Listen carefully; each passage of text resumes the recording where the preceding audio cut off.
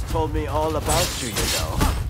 Still, I won't hold back.